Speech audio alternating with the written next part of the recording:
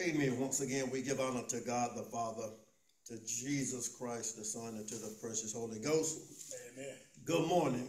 Good morning. Good morning to all of those that are here present today. Good morning to those that are on Zoom, those that are on their way. Uh, we bid you Godspeed. Amen. Amen. Today is another day that the Lord has made, and since God has made it, we might as well go ahead on and rejoice yes. and be glad in it. Somebody say amen.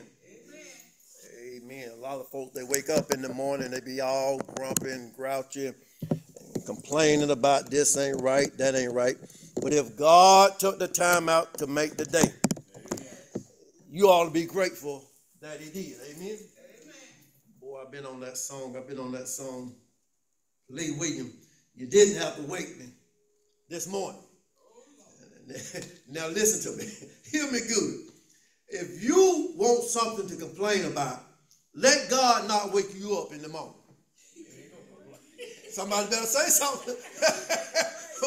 what, what you say, D? You ain't gonna say nothing. So if you ain't gonna say nothing when God don't wake you up, why when God wake you up, you got so much to complain about? Ought to be glad in it. Amen. Amen. We thank God for waking us up this morning. Let us jump into our uh, printed text, our lesson for today. Today, June the 23rd in the year of our Lord and Savior, uh, 2020, 23, 2024, June the 23rd, uh, 2024. Our lesson is entitled Full of Assurance. Full of assurance. You can't be a quarter of the way assured. You can't be halfway assured. You got to be full assured. Amen. Now, let's let's go to let's go to the automobile because most of us can relate. If your car is on a quarter of a tank, yeah, you better look out. You only can go so far.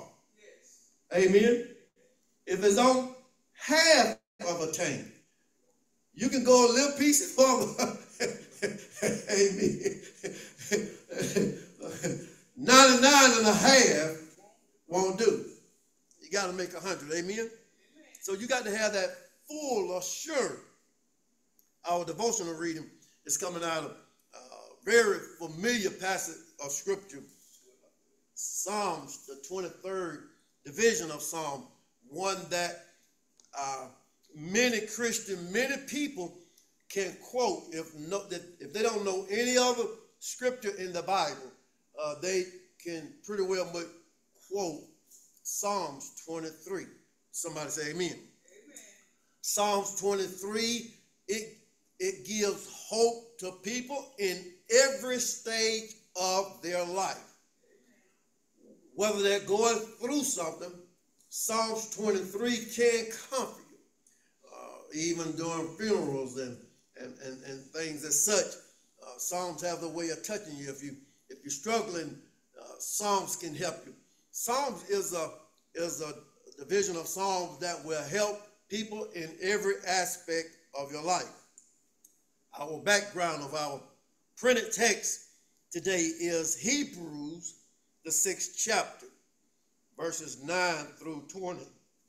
And our key verse, or our golden text, is verse 19 and 20. That says, Which hope we have as an anchor of the soul, both sure and steadfast. Th- those are three key words anchor, sure, and steadfast. You got to be deeply rooted, anchored in the Lord. Amen, somebody. You got to know what you know if don't nobody else know. Help me, somebody. You know whether you saved, sanctified, filled with the Holy Ghost. You got to be sure of that. And you got to keep on doing what God required you to do.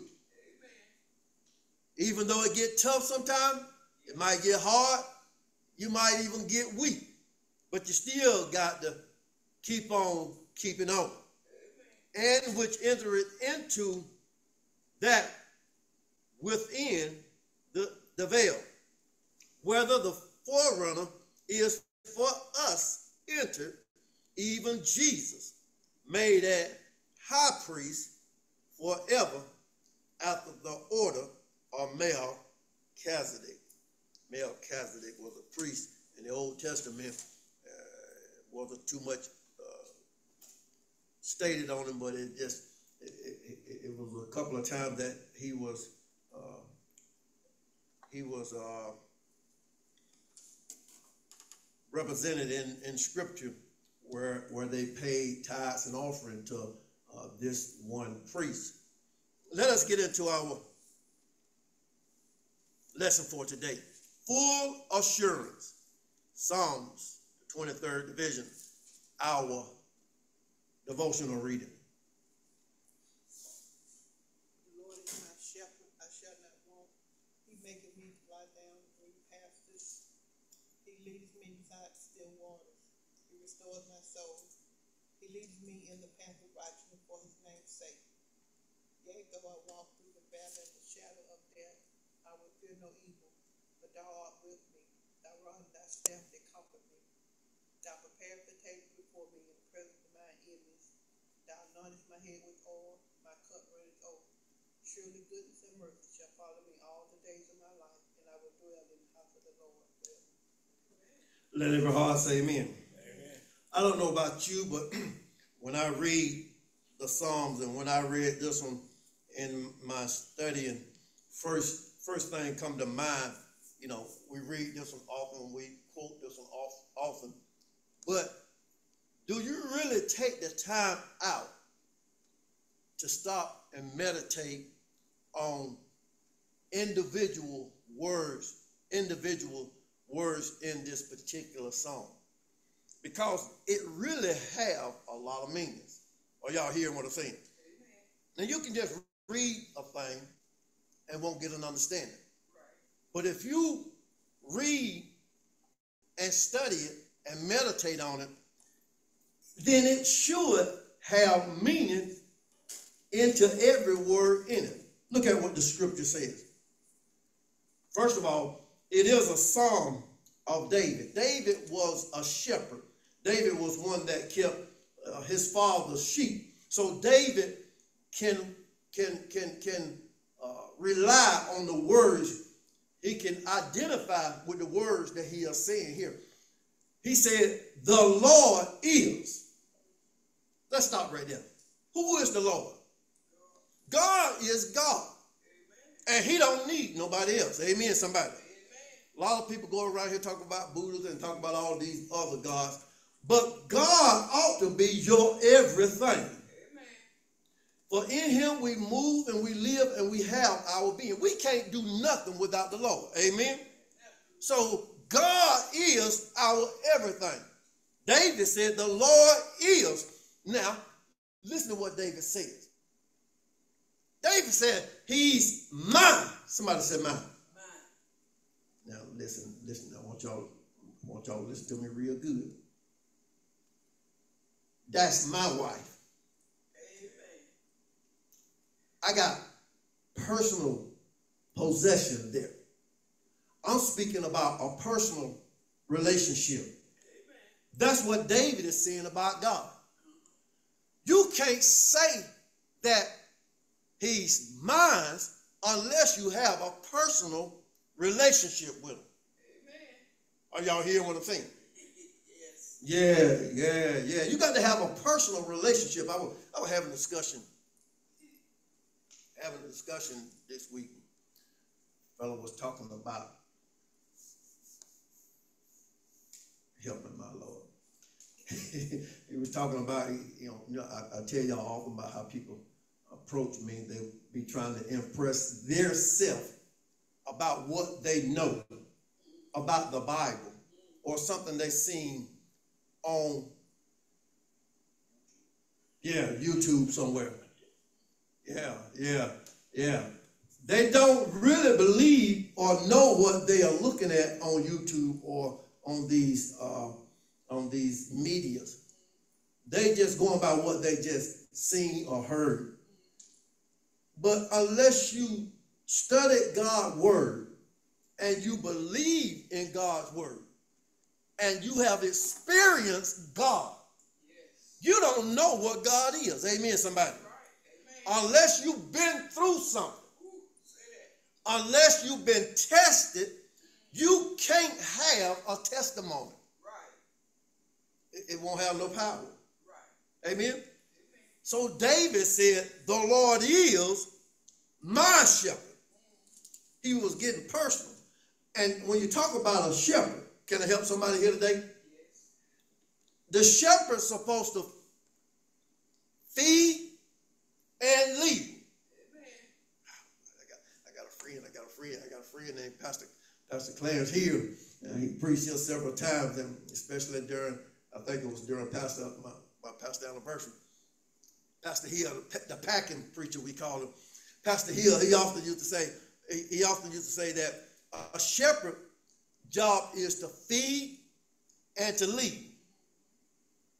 A sheep job is to follow and swallow. Helping somebody. But what I learned in life, a lot of people are like goats. Yes, they are. Yes, yes, we are. We, we are like goats at time. We, we don't want to follow. We want to buck and kick and want to do things our own way. But a sheep is humble. One thing I like about a sheep, you never you never see a sheep going to work. You never see a sheep applying for a job. You never see a sheep doing anything but just sitting there grazing in the in the pasture. And in order in order for them to go anywhere, a sheep has to be led by a shepherd. Now, sometimes that sheep will stray away from the flock. That's when the shepherd has a rod, he has to go out and pull him back into the fold. Somebody say amen. amen. So David said, The Lord is my shepherd. David is really letting you know that God is the one that lead him. God is the one that feed him. God is the one that give him his health and his strength. He said, the Lord is my shepherd. And he said, I shall not want. How many of y'all truly believe in Philippians 4 and 19, where it says that the Lord shall supply all of your needs? Do y'all believe that? Amen. We don't get things on our own. If God didn't give you health and strength, you couldn't go to work. Amen. Yeah, yeah. I mean, if you didn't, if you didn't have good health, if you didn't have strength, you wouldn't be able to get up and go to work. Mm-hmm. But we we take credit for it on our own. I, I get up here. I'm good about it, brother John. I get up here every morning, 4:30 in the morning. But I thank God that He give me health and strength. Boy, I went out and I worked 12, 16 hours for 40, 50 years. I saved up money here and there. I put money in the bank. I, I did this and I did that. We always take credit for what we done. Well, how many times do we often give God the credit for leading us and guiding us in the right direction? David said, The Lord is my shepherd, and he said, I shall not want. Because God feeds you when you're hungry. Amen. Amen. God comforts you when you're lonely. David said, He maketh me. Somebody stop right there. Y'all, y'all stop right there. Can y'all go back? Can y'all reflect back, or even when y'all children's or your grandchildren's they'll run around and play all day long. And when you get tired of them, or you know they don't play too much. They need to take a nap. Help me somebody. You, you, you tell them, go in there and lay down.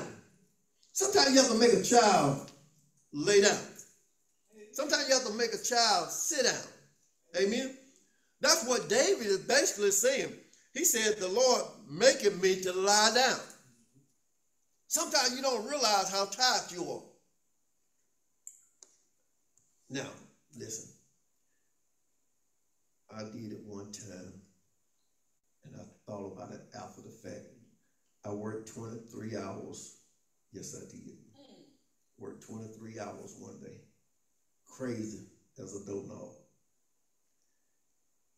But when you lay down, you are down. Amen, somebody. If you work 10, 12 hours a day, when you lay down, your body will tell you you're tired. You might not know it yourself.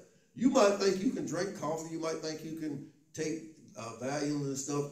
Think you can. But one thing for sure, when your body is tired, your body will let you know. David said, He maketh me lie down, even with sheep. When sheep are grazing, they don't know when they're supposed to do certain things. The shepherd has to show them, and the shepherd has to lead them to do what they must do. That's what I said a shepherd do. A shepherd leads. Here, he making them lie down where? In green pastures. Aren't you glad about it?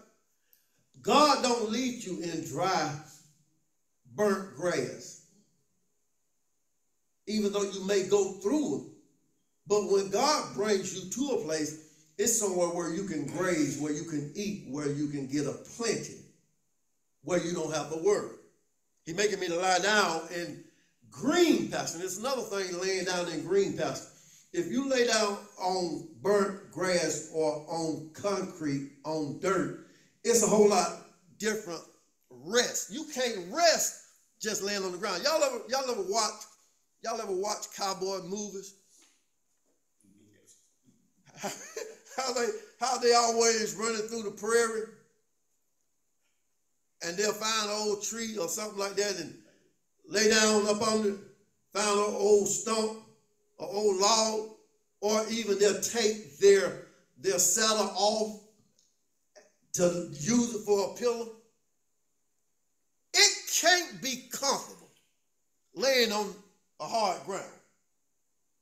I often wonder about a lot of people, they go out camping and stuff and they lay in the tents and they lay on the hard ground. But when God lays you, God leads you to a green pasture. No green pasture, they, they, they normally have that thick cushion grass. Somebody say amen. But, uh, Pastor, although we can ask the church come and lay down, sometimes we have to do adults the same way. Amen. Don't have sense enough to rest. Amen. And I, I, and I know my friend over there, told you plenty of times, I want you to go in there and rest. Yeah. She, she, she, she, don't have to tell me when to rest. I, I, I do enough that on my own. She, she, she, she said, Yeah, she might tell me to get up and do something. She said, I think she told me the other day, she said, you, you always laying down. I, I don't have no problem with laying down. See, when, when, when, when you got God in you, God give you that peace that surpasses all understanding that you can lay down at any given moment and rest. Because it's a lot of go, it's a lot going on around in this world. Amen. But if you got God leading you, God will allow you to lay down and rest, even in the midst of storm, even in the midst of life. But she did share that with me uh, with concerning some of her patients. Some of her patients, they have gotten to that stage, and, and, and a lot of time she have to tell them certain things that they need to do. Because I heard I heard Deke said, I heard Deke read it in the scripture when I was when I was a child, I thought as a child. I act as a child. But when I became a man, I put away childish thing.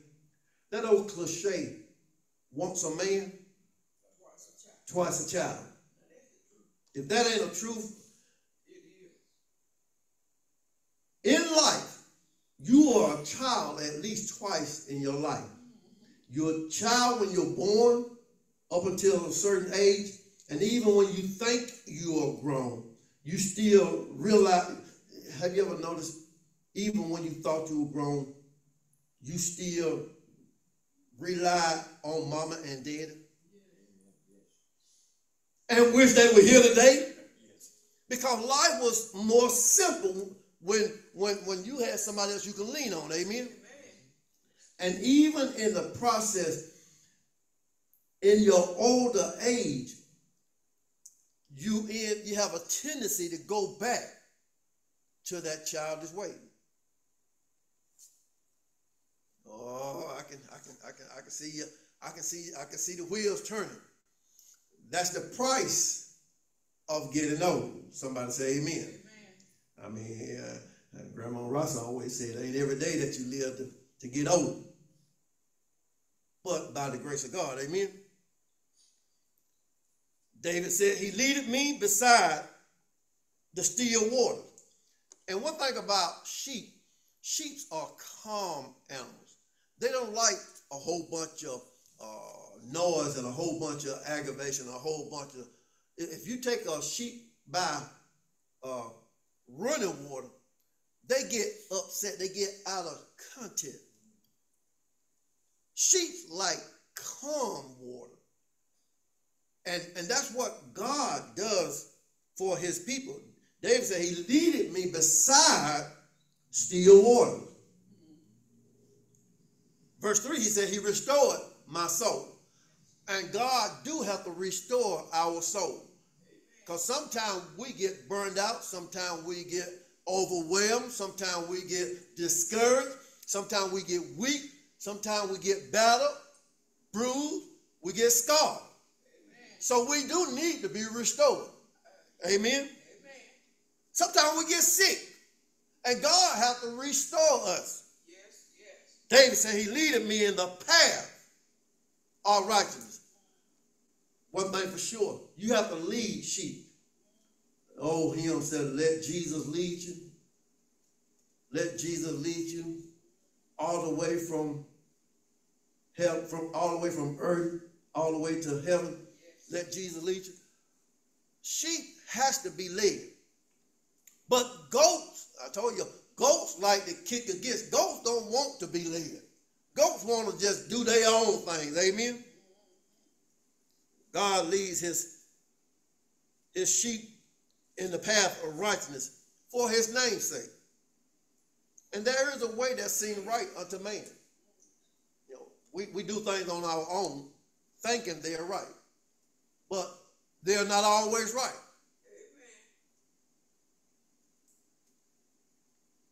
David said in verse 4, Yea, though, even though I walk through the valley of the shadow of death. Listen, you can walk through the valley, but you ain't got to stay there.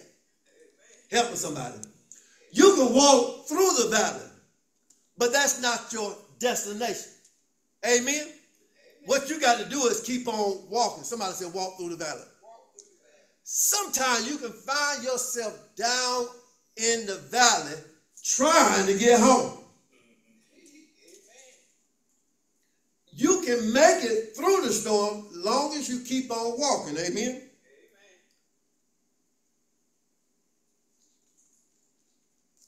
in the valley, in the valley is considered a down, you know, low place.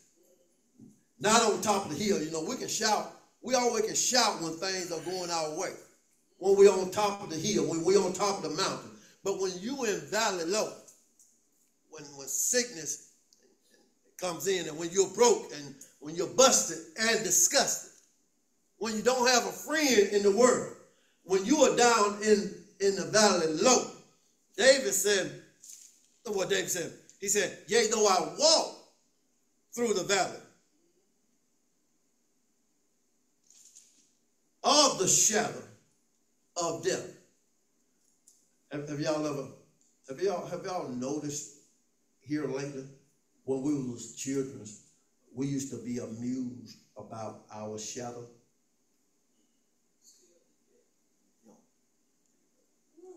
I don't think, I don't think, I don't think we can, I don't think we can grasp the concept in today's society.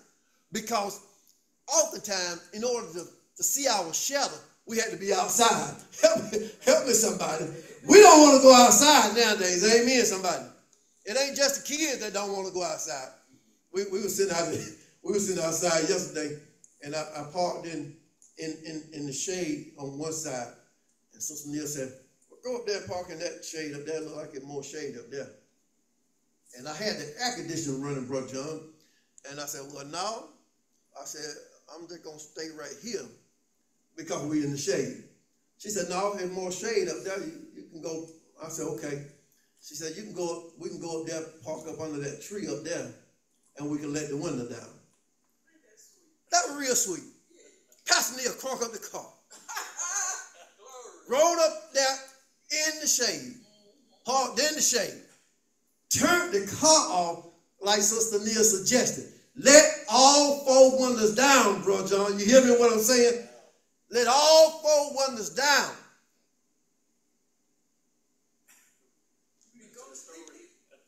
That ain't the end of the story.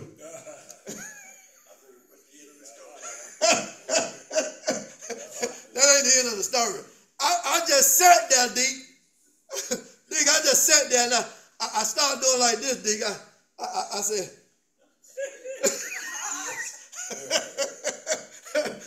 I mean, what was it? It had to be about like 95 degrees yesterday. And I, I, I, I, I sit there and I wipe the other brow. She said, she said, you can crank the car up and let, and let the window up and turn the air conditioner on. I said, no. You wanted to sit up here in the shade. But we don't go outside like we used to. Enough. How when we was children, we used to have fun just running and playing with our own shadow. Am I right about it? You know, you, you try to, you ever tried to chase your shadow? You ever tried to catch your shadow? Can't do it. You can outrun it. You can outrun it, but you can't catch it. No. David said, Yea, though I walk through the shadow of death. And even a Christian going through or even the thought of dying. Look what he said. He said, I will fear no evil. You go through things in life. But still, it's not to say that things won't cause you to question or cause you to even fear, even think about it. But David said, because he got God in him, he said, I shall not fear. Because he knew that God was with him. Why? Now, I told you, a sheep will wander off from the flock. But God got a rod that when one of his sheep goes away, away from the flock, he stretched that rod out. And sometimes, some of them, some of them he can just, just, just, you know, just gently bring them back into the fold. But some of them, some of them, they get too far gone and he, he have to give them a jerk. And that's the way we as Christians are. Sometimes we backslide and we get too far out there. God has to use his rod and his staff to comfort us, to let us know to come on back into the fold because he loves us and we are still his children. Thy rod and thy staff, they comfort me. Thou preparest a table before me in the presence of my enemy. God will feed you when you're hungry. And the good part about it, God will feed you before your enemies. He will allow your enemy to see the blessing and the goodness of the Lord. Ain't that something to shout about? People will be wondering how you get to be so blessed, why you got this and why you get that. It's all because of the grace of God. In the presence of my enemy, thou anointest my head with oil. My cup runneth over. And one thing about it, you know, man, they think they can take things from you. But when God blesses you, your cup runneth over. Amen. You have more than enough. Amen. surely you always will have two people that will follow you all the days of your life. Help me, somebody. No matter where you go, no matter what you get into, the Bible says goodness and mercy. If it had not been for mercy, we would have been gone a long time ago. But thank be to God for his goodness. Mercy shall follow us all the days of our life. And I don't know about y'all, but I made it up in my mind. I want to be in the house of the Lord forever. Amen. Ain't that enough to shout about? Yes. Many people have came and gave the preacher their hand and promised that they wanted to stay in the house of the Lord until they died. You heard the testimony. A lot of them lied and died right there at the same time because they're not here today.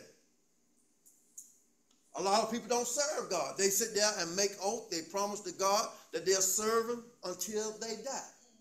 But where are they?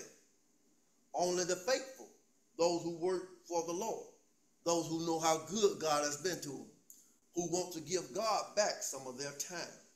And those people, you can see their work and their labor because of the life that they live. You can talk a good game. Everybody can sit there and say, I'm saved and sanctified, filled with the Holy Ghost.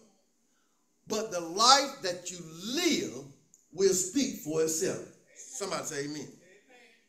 Let us get into our printed text. Our printed text. Uh, Hebrews, the sixth chapter, verse 9, 10, and 11.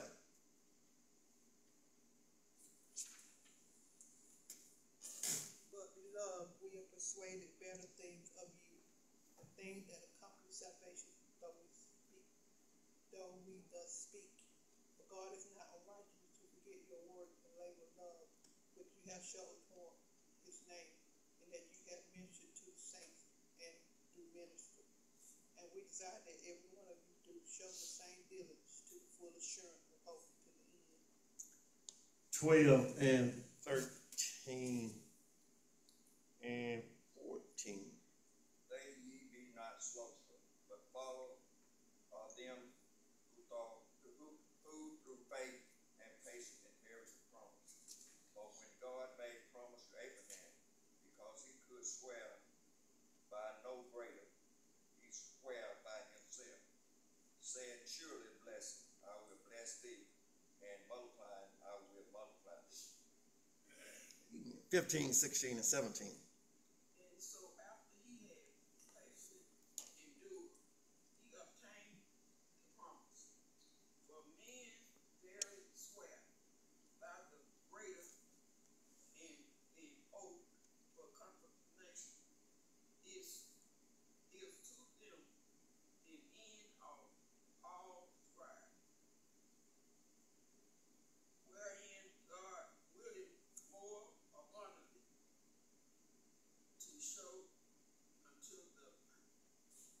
Heirs, hmm? immutability,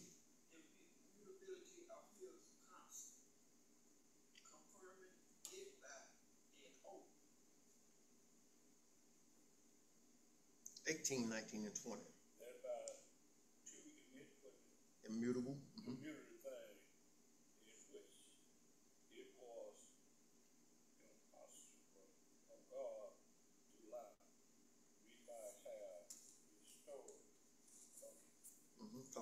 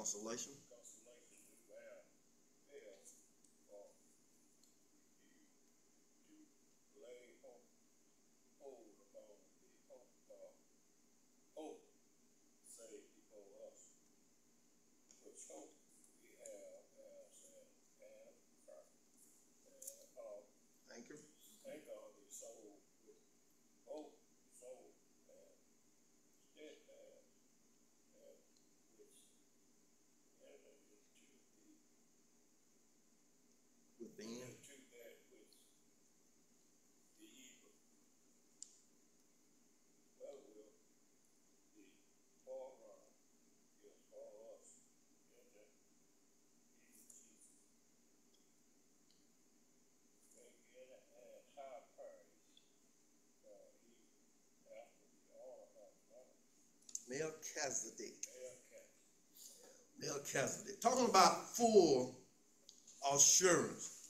And in our in our introduction, it talks about sealing the deal. Uh, you know, talk about in the old days, a handshake would be enough for a contract. If two people shook hands on trying to make a deal, usually when they shook hands, that was their bond. Amen. Fact of the matter, back in the older days, a man's word was his bond. If a man said something, a man would not say anything unless he was sure that he can perform it. Somebody say amen. But not nowadays. You got contracts, you got a whole bunch of things lined up to try to keep people on the contract. But yet, people break contract, people break the covenant, people don't. Man, listen, man do not, you can't hold nobody to their words nowadays. Shaking hand don't don't don't cause an agreement to be in bond. Because man will lie to you, looking you dead in your eyes. Say amen, somebody. The law demanded that those who utter a vow, so if you make a vow, you ought to keep it. Amen. Can I, can I, can I use myself again? Um, you know, I made a vow to the Lord. One day, that's what that's what that's what Willie Neal Johnson said. Well, that's a, that's a nice old song. I made a vow to the Lord one day. I made a vow to Sister Neal.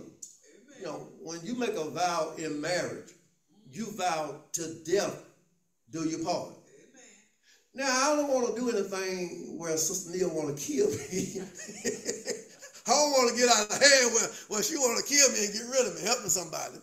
Yeah. So I better stay in line. Somebody ought to say something. Amen. But people nowadays, they they they marry and they don't keep their promise. You know, things do change in life. Remember back in the Old Testament, the children of Israel they wanted they wanted Moses to write them a bill of divorce simply because of they was doing evil. People don't want to live right. It- it's not it's not the person fault that's trying to do right. It's just that you got a lot of people that's following evil. So if you make a vow, especially to God, you ought to honor that vow. Amen. And one thing about God, if God said it, that settles it. If God made you a promise, you can take that to the bank. Amen, somebody. Look at our, our lesson context. It talks about the book of Hebrews.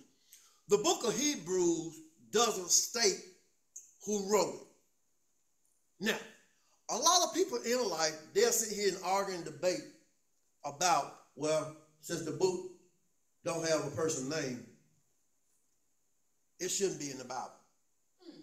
They might say, well, it writing doesn't mean anything. It's not in in context because because the person that put their name on it. It really don't matter who wrote it.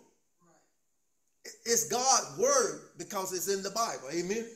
Therefore, we should be able to follow by it and live by it. You know, sometimes we get too, sometimes we get too big for our own britches. Amen. Sometimes we want to know too much. You don't need to know everything. Amen. Because sometimes if you knew more than you could handle, you'll think you're somebody. You'll be puffed up. The Bible says knowledge is puffed up. Sometimes when you think you know, him and him and me. How many times have your wife said you think you know everything? You raise, raise your hand all the time. you know, if, if you thought you know everything, you think you somebody. You'll be puffed up, amen. Some things are not for us to know. Some things in life are really just that not important.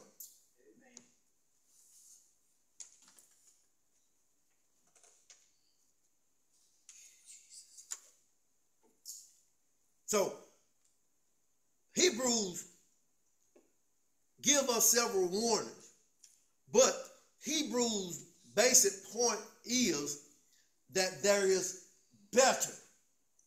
Somebody said better. In life, there are some better things. Amen. Now, y'all tell me, y'all, y'all, y'all, y'all familiar with cooking? Which is the better of two? The biscuit the light bread? Yeah. yeah, yeah. yeah, because now, now, now, now, because you know that old that old slogan, that old saying, better than you know, next best thing to sliced bread. You know, some people think sliced bread was the best thing, but it ain't nothing like a biscuit. Come on, country folks. Y'all ain't been certified all your life. Now, you cannot salt, syrup, and butter with light bread like you can a biscuit. It don't taste the same. so, so, so some things in life are better. Amen. Hebrews points to that Jesus is better than the old priesthood. Jesus is better than the Old Testament. In other words, the Old Testament was good. The Old Testament, the law, it only showed you what was right and what was wrong. The Old Testament couldn't make you right. Somebody, somebody wondering here. Somebody wondering here. Uh, I'm, I'm, I'm, I'm, I'm gonna come back to life. Let's let's let's let's go to reality. Speed limit sign says 55. That don't make you go 55, amen? When you uh, we were coming down the highway yesterday, and, and I was doing, Lord knows I was doing about 75. Oh, gracious. That sound like me. That ain't fair. That ain't- I mean, it's, it's, it's speeding. Speed limit is 70. I was doing about 75. A car came by me and said, if you on the interstate, they will come by you doing 90 to 100. They don't want to take their foot off the gas. I mean, they just go by you.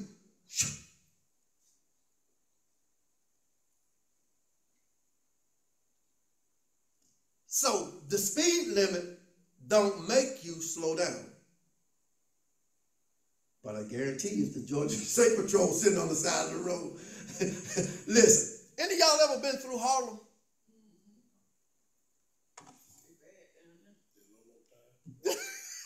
Probably, probably my nephew. See, listen, Probably my nephew. you will speed everywhere else in the United States, all except for when you go through Harlem. Harlem. I guarantee you, when you are driving down Augusta Highway coming from Thomson, you will start doing 25 before you get to Harlem. Don't nobody speed through Harlem. Harlem. Why? Because you know they will stop you. They got they got cops sitting, they, they sit back on the side of the road to make you. Now the Old Testament couldn't make you. But Jesus is better than the Old Testament. Because of what Jesus did on Calvary on the cross. He made us right before God. Somebody ought to shout right there. Look at the promise made. Verse 9 says, But now, here the writer of Hebrews, he backs up and clean up what had been said early on in, in this chapter, in the sixth chapter of Hebrews. And, and, and a lot of times you have to tell people this in life. Okay, okay. Considering all that I have told you about being saved, sanctified, filled with the Holy Ghost, being born again, about how Jesus died on the cross.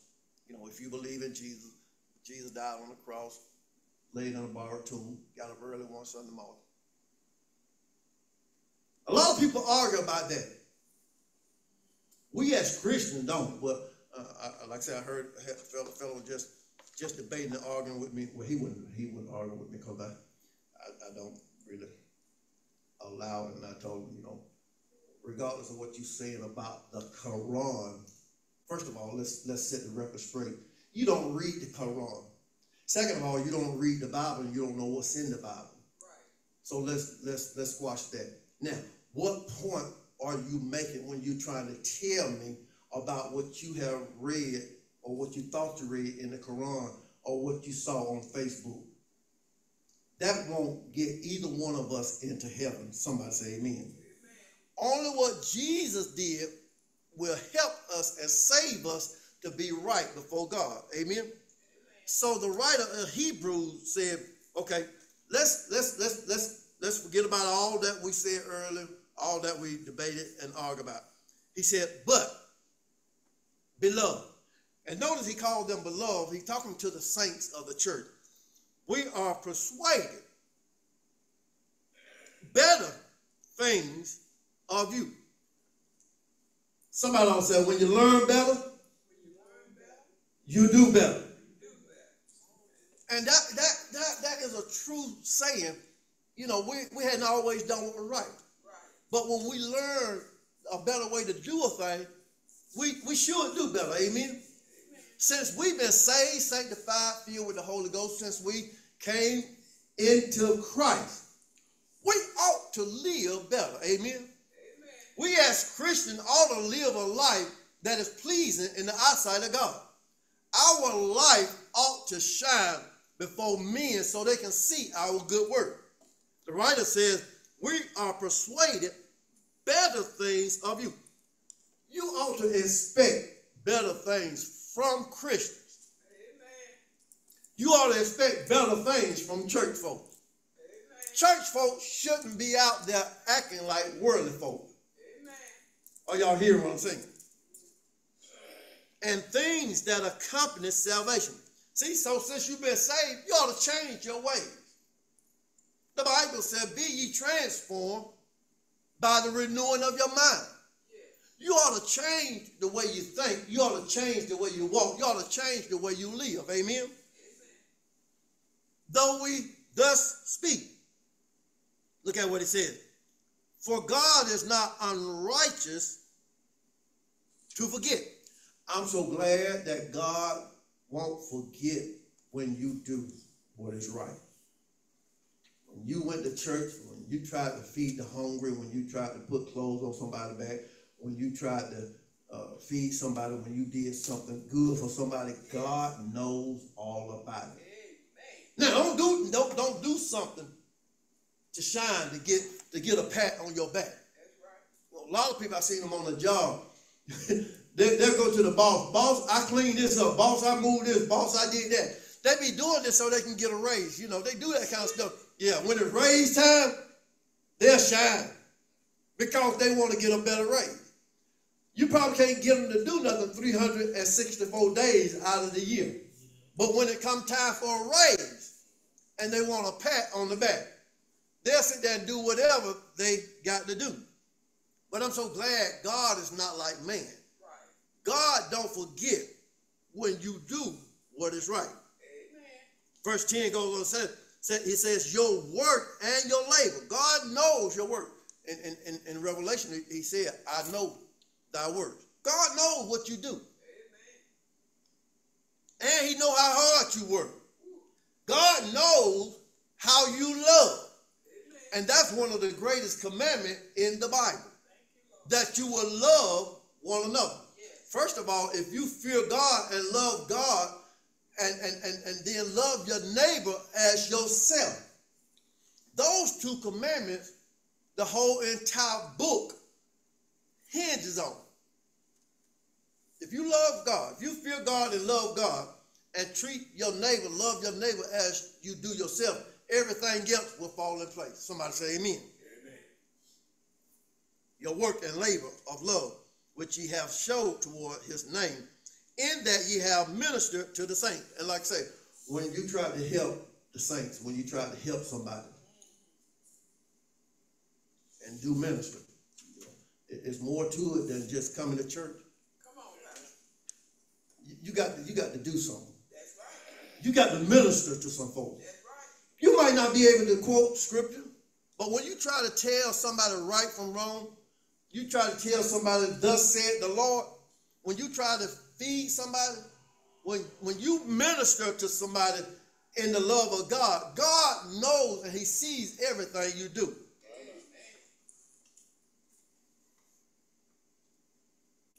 When you go by the hospital, God sees it. God know about it. He know about your work. Look at verse 11. He says, and we desire that every one of you, every washed in the blood Christian, need to show the same diligence Yes, yes. through the full assurance of hope. The writer concerned for consistent, everybody, every child of God. You ought to do your very best when it comes to serving God. Amen. You know, sometime in the church, you'll have only one or two people that will go to the hospital. Amen. You'll have only one or two people that's trying to feed the hungry. Amen. You have only one or two people that's trying to clothe the naked. You'll have only one or two people that try to help raise up these children. But the writer of Hebrews says that everybody should be doing this. And you should do it diligently. You should be in a hurry. You should you should do it with passion. You should be you should be concerned about what you're doing. That ye be not slothful. You can't be dragging your foot. Yeah, yeah, yeah. Sometimes I, we talk about it. Yeah, sometimes, sometimes, sometimes I get kind of slowful. Sometimes, sometimes I come in and I don't feel like doing nothing. I told you, Sister Neal don't have to tell me when to, when to take a nap. I know how to take a nap. I know how to rest. Amen, somebody. Yeah, we know how to rest real good. All, all we got to do, if I come in the house, it's over with. If I sit on the couch, I probably won't do nothing the rest of the night. But if I if I make my way in the garage or outside and don't go in the house, I can cut grass. I can do what I got to do. The writer said, "Don't be slothful. Don't be lazy, but followers of them who through faith and patience inherit the promise." The reader are encouraged to follow the example of those who have been faithful. I often, I often watch my grandmother how she worked uh, so hard and tiresome in the church. Uh, every program that was in the church, she started them and she worked them. She would go out into the town, into the stores, and I'm talking about, I'm talking about back in the early '70s and in the '80s. Uh, she would go to go to these stores and ask them for donations, and she would make programs and stuff in order to raise money and, to see somebody work hard for the Lord. That's how we are supposed to do.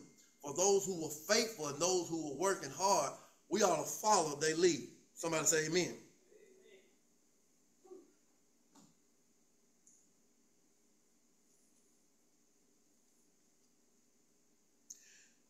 And, and living and working working for the Lord will pay off after a while.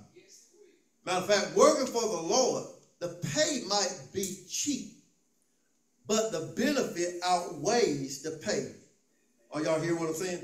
You might not get paid down here, but for us that works in the ministry, our goal is to wear a crown over in glory. Are y'all hearing what I'm saying? So don't give up, don't give out, don't get tired. God will, God will give you an inheritance. Look at verse 13. It deals with the promise being fulfilled. Not by man, but by God. By God's greatness.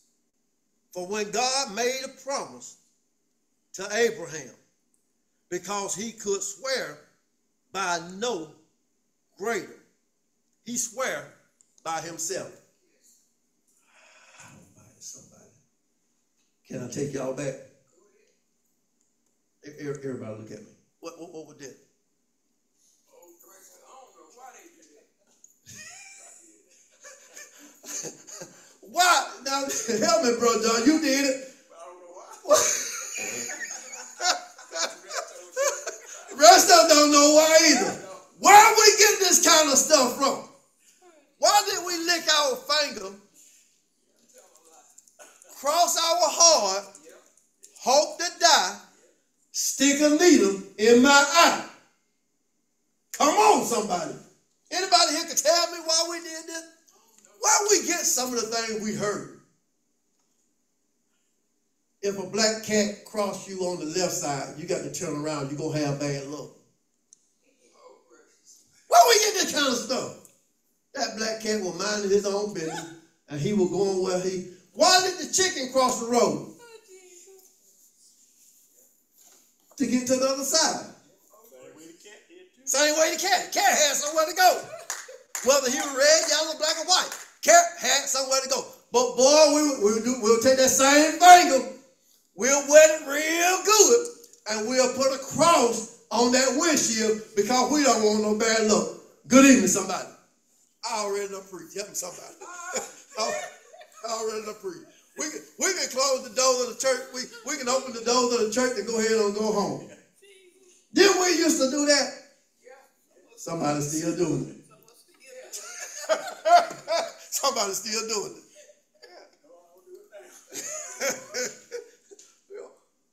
People, yeah. People did strange things to convince you that they was right. But back from the beginning, if you can't perform something, if you can't do something, don't make an oath. Don't make a promise. Don't make a promise you can't keep. So, to your point, Brother John, I think we did that to solidify or to make our promise seem strong or make us seem more righteous. All you had was a wet finger, cross hard, and you had a needle stuck in your eye. Amen. Yeah, yeah. So, First Peter, First Peter, the third chapter, and the ninth verse says, I don't, I don't have time. I don't have time. First Peter, this first, I'm sorry, Second Peter, Second Peter, the third chapter, verse nine says, "The Lord is not slack concerning His promise. God is not like man. If God promised you something, it shall and it will come to pass. Matter not how long it take, because sometimes when when when when when the promise of God, when we think God promised us something, if it don't show up on time, we think God has forgotten about us. Amen. Can you imagine the promise He made to Abraham, and Abraham waited for 25 years, and halfway through that promise, Abraham decided to take matters into his own hand and try to have a, have a child himself. So you don't sin because you didn't trust God. But then you decide to get back on the bandwagon and trust God and believe God. And 14 years later, the promise came to pass. But God is not like man concerning his promise. If God says something to you in the dark, he'll bring it to light. Somebody say amen.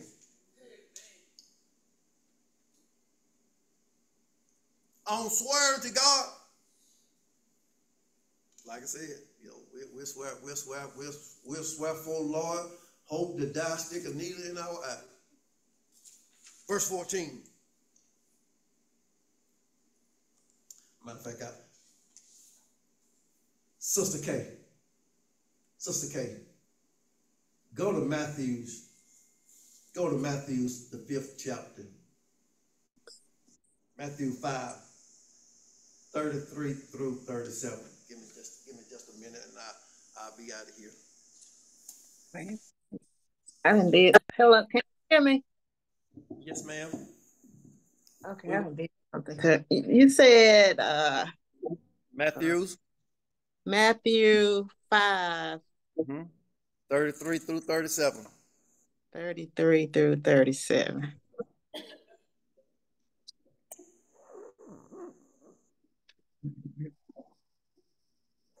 Almost there. Let's see. 5 33 through 37. Okay, Matthew chapter 5, verse 33. Again, ye have heard that it hath been said by them of old time, Thou shalt not forswear thyself, but shalt perform unto the Lord thine oaths. Verse 34 But I say unto you, swear not at all, neither by heaven, for it is God's throne. Verse 35 Nor by the earth, for it is his footstool, neither by Jerusalem, for it is the city of the great king. Verse 36 Neither shalt thou swear by thy head, because thou canst not make one hair white or black. In verse 37, but let your communication be yea, yea, nay, nay, for whatsoever is more than these cometh of evil. Amen. Somebody say amen. Boy, we just lie. Don't we just lie? We just we say we just say evil things when we do more than just saying yay and nay. Sometimes you just gotta say yes or no. One thing I learned is on the job, D, when you want to take a vacation or when you want to be out sick, you ain't got to tell nobody your business. Right. You ain't got to tell them what you got to do. Right. A lot of people, a lot of people will say, a lot of people will call in and say, I'm use a sick day today. I ain't feeling good. Quit lying.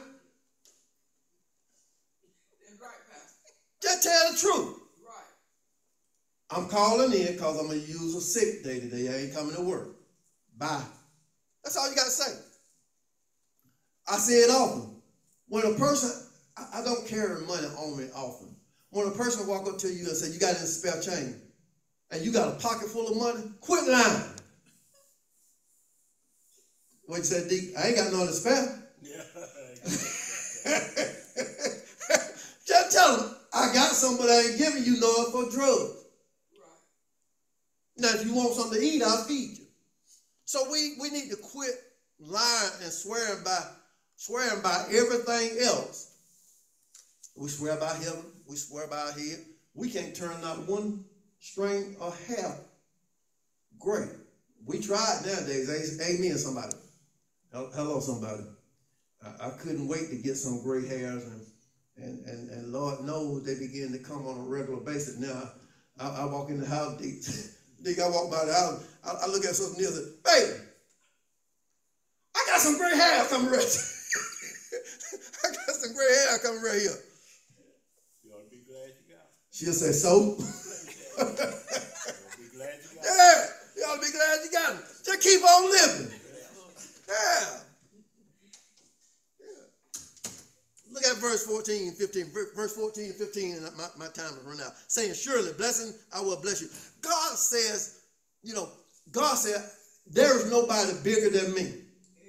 So I can't swear by nobody else but myself. Right. So he said, Surely, blessing I will bless. God said he will surely bless you. And if God said it, that settles it.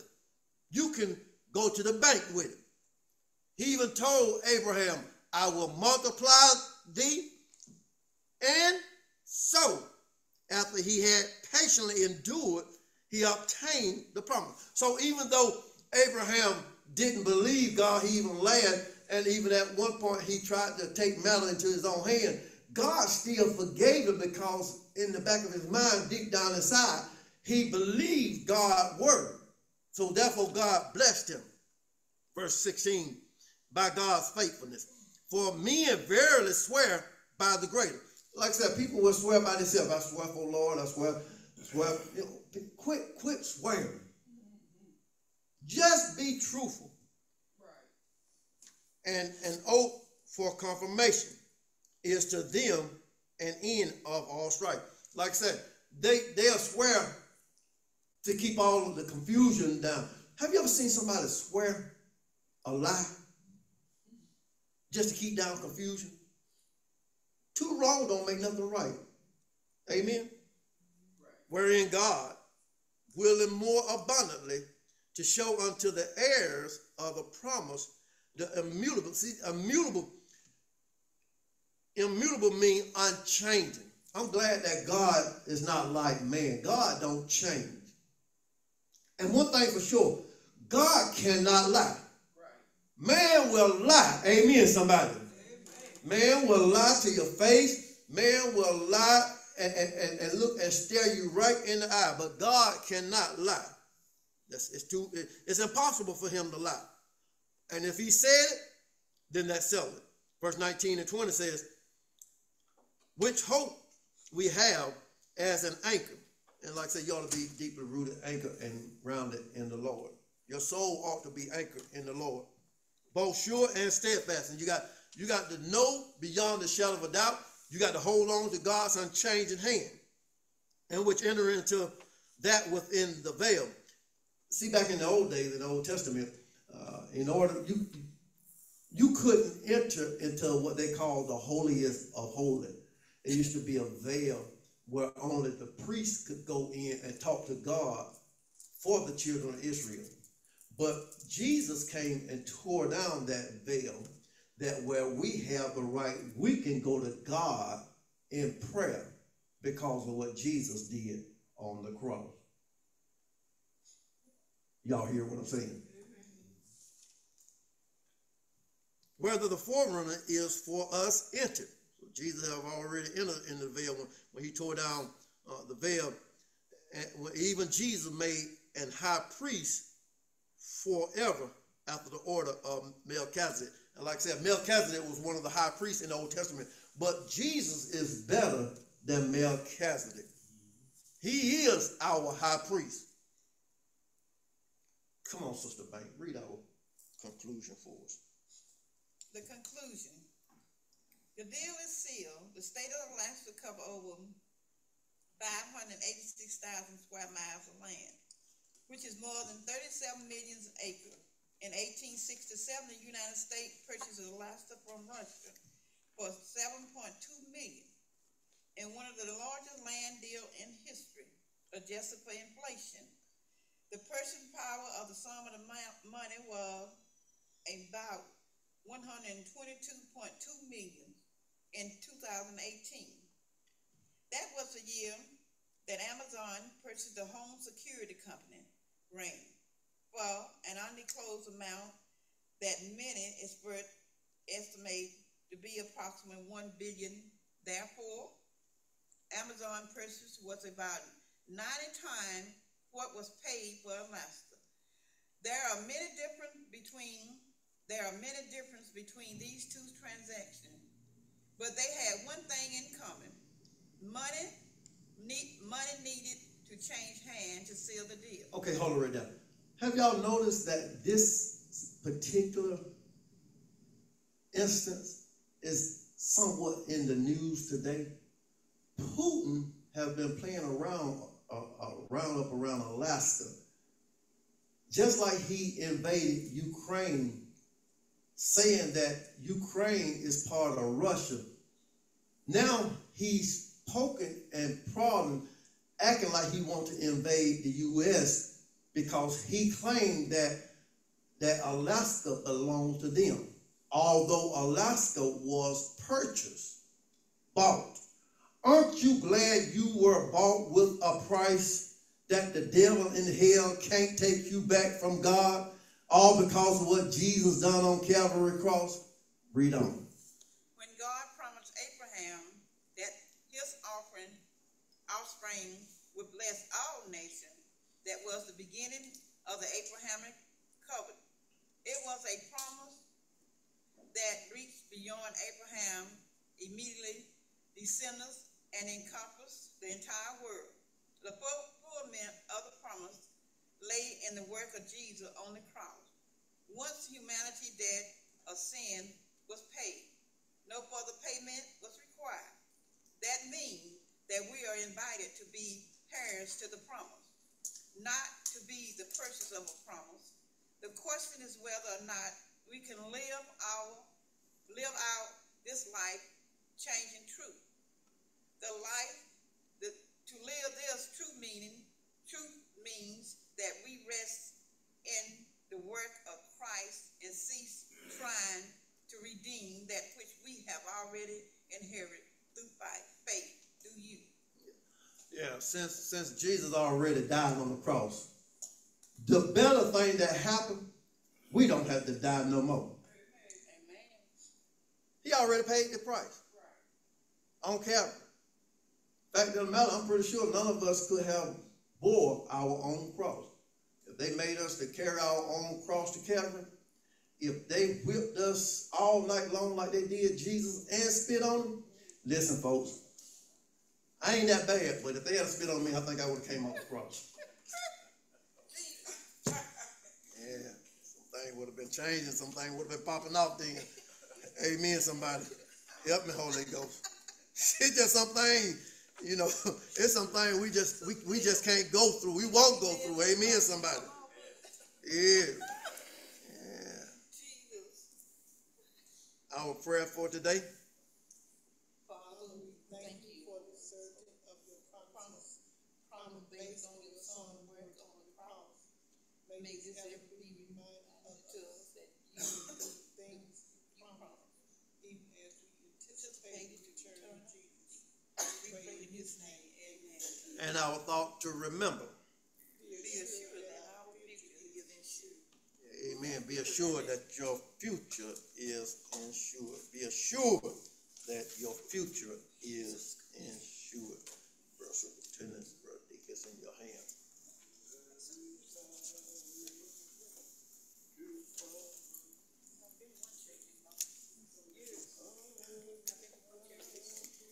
God bless all of those that are on Zoom. God bless your Sister Kay. You have anything you'd like to say? No, sir. Enjoy the lesson. Amen. God bless you. Uh, just be reminded that we are on uh, summer vacation from Bible study. That we will not be in a Bible study until further notice. Amen.